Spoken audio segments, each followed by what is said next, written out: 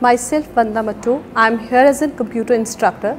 I am there in the school since 3 years and I am teaching the computers for the classes uh, 5th to 10th.